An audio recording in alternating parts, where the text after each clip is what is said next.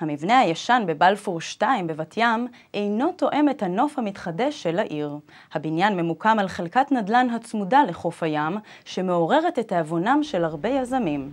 הכל כבר מוכן להתחדשות. הכל מלבד פתרון לדיירים בבניין, שרובם קשישים קשי יום יוצאי חבר העמים. Живу здесь по адресу Бальфур 2 больше 10 лет. В самом деле это самое, некуда идти. и не на что. Не снять, не, не переезжать с места на место. У меня нет физических сил. Вообще всем уличным животным по мере возможности стараюсь помочь. А тут людям не помогают. как это так? האנשים שגרים בבניין הזה הם האנשים המוחלשים ביותר. אנשים זקנים, חולים, ניצולי שואה בחלקם, ורוצים לזרוק אותם לרחוב. מה שהם מבקשים זה בסך הכל שלא יזרקו אותם לרחוב, שייתנו להם פתרון בסיסי של דירה נורמלית, אנושית, בעיר הזאת.